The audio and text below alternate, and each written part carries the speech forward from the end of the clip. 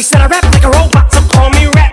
But for me to rap like a computer must be in my genes. I got a laptop in my back pocket, my pinnacle walk when I hat cock it. Got a fat shot from that fat profit, made a living and a killing all shit. Ever since Bill Clinton was feeling nauseous, with Monica Lewinsky feeling on his nutsack. I'm an MC, still as honest, but as rude and as indecent as all hell.